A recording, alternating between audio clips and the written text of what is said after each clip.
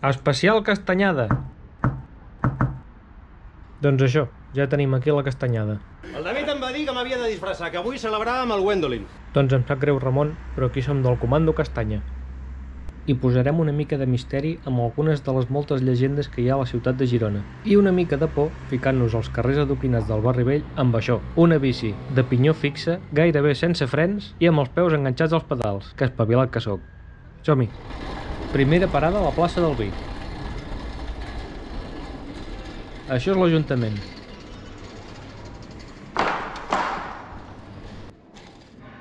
Just a sobre la porta que dona a la sala de plens trobem això.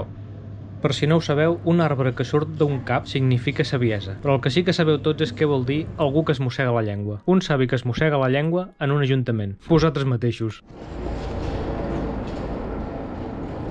Ben bé al costat de l'Ajuntament ens trobem una altra curiositat. Aquesta cara en miniatura, tallada a la pedra, es coneix com en banyeta. Hi ha moltes teories al respecte, que si és un dimoni, que si és un símbol templari... A mi, de fet, més que banyes em sembla que tingui dues orelles de burro, però no sé. Següent parada, les voltes de la Rambla. Aquí trobem la llegenda dels ajusticiats de la Rambla, tres capitells de pedra que representen tres figures humanes. Una figura representa una persona tocant un sac de gemecs, una gaita de tota la vida.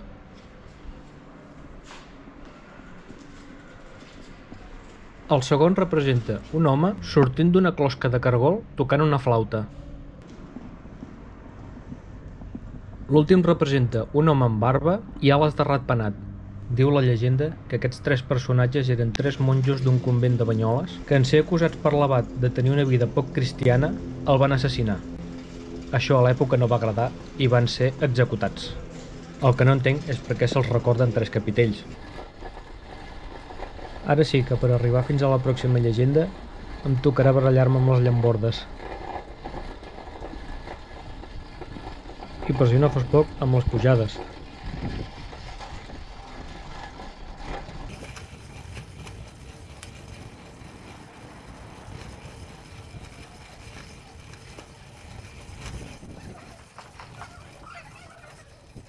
Què? Sabeu on som, no?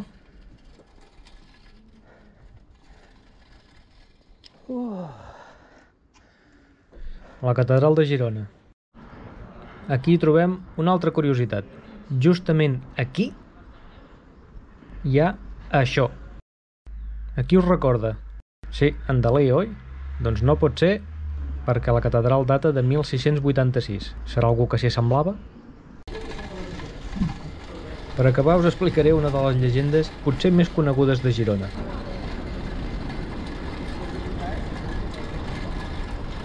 Aquí la teniu, la lleona. Diuen que per tornar a Girona o per poder-hi viure tranquil li has de fer un petó al cul. Bé, doncs jo no li he fet mai un petó al cul i porto 40 anys. Aquesta escultura tan mística no és més que un reclam publicitari de l'hostal La Lleona que hi havia uns metres més enllà. O sigui, que li esteu fent petons al cul a un anunci molt antic. De res. Un ninot de plàstic mort en un microones, una capsa de panellets incompleta, nou persones sospitoses dins la casa de Creadors TV. Els poders detectivescos em diuen que en aquest canal algú fa pudor de culpable. No seràs pas tu, l'assassí del panellet. No us podeu imaginar per què. Home, Sam. Ja estem fent cua per entrar cap al, bueno, doncs cap al festival.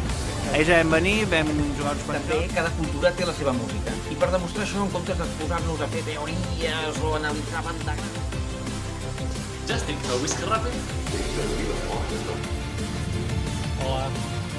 Sí, ja sé que vaig dir que no volia sortir als vídeos, però... Hola a totes i a tots, com esteu? Jo sóc Simmer Valenciana i avui he de contar-vos. M'agrada també que la valoració que faré és una valoració en xarxes socials. No faré una valoració en la meva vida personal.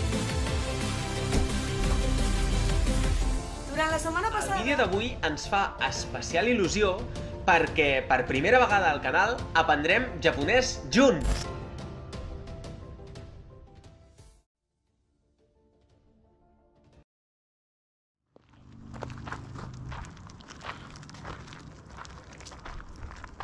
Ostres, Xevi, Xevi, mira, que estava mirant aquest vídeo d'Endarsegador i diu que has matat en Pitu.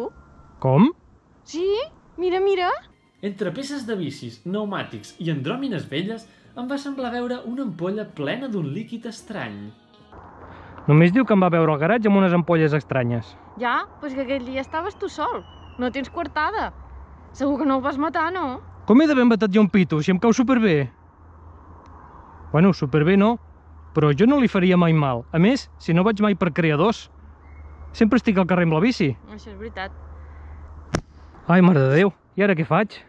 Home, doncs hauràs de fer un vídeo explicant la teva versió dels fets, que si no et fotran a la presó. Però com m'han de fotre a la presó, si no he fet res? Buah, doncs serà que no hi ha innocents a la presó. Ai, mare de Déu. Té, agafa el meu mòbil i fes-me un vídeo. Vale.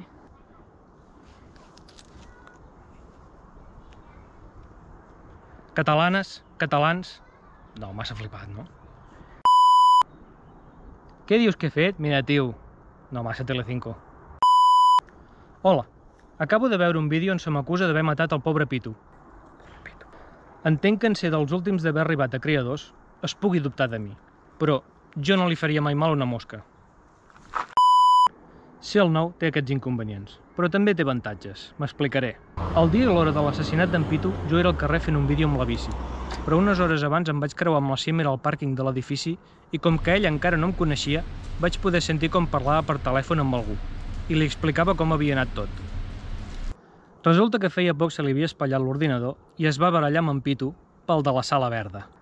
Mentre se n'anava em va semblar sentir alguna cosa de panellets, però ja era massa lluny i no ho vaig sentir bé. Jo, si fos policia, miraria a casa seva. No sigui que hi trobin alguna cosa als pinyons.